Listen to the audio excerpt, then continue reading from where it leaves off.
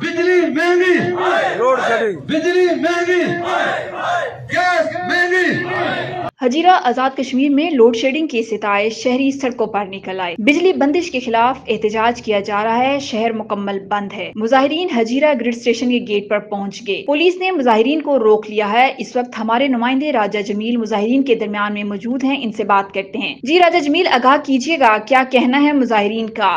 जी बिल्कुल आज हजीरा में जो गुजशत कई दिनों से लोड शेडिंग हो रही है अ, बिला वजह लोड शेडिंग हो रही है और गैर अरनिया तौर पर लोड शेडिंग हो रही है। आज अंजुमन ताजरन हजीरा के जेर तमाम यहाँ पर एहतजाजी मुजाहरा किया गया। शहर मुकम्मल तौर पर इस वक्त बंद है जो मुजाहरीन हैं वो ग्रिड स्टेशन हजीरा के गेट पर पहुँच चुके हैं जहाँ पर उन्होंने धरना दे दिया। पुलिस की बड़ी भारी नफरी भी यहाँ पर तैनात कर दी गई है जो मुजाहरीन को आगे बढ़ने से रोक रही है। मुजाहरीन का ये कहना है कि जब तक लोड शेडिंग ख़त्म नहीं होगी, यहाँ पर धरना देंगे और ग्रिड स्टेशन पर कब्ज़ा करेंगे। लेकिन पुलिस की यहाँ पर भारी नफरी तैनात है। मुजाहरीन को उन्होंने रोक रखा है।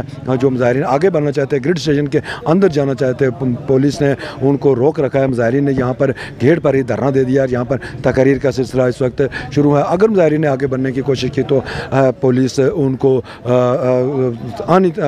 हाथों से निपटने की कोशिश करेगी, जिसकी वजह से पुलिस और मुजाह- मुजाहरीन के दरमियान इस वक्त शदीद तसादम का यहाँ ख़तरा है। जी। बिजली महँगी। रोड बिजली महँगी। गैस महँगी।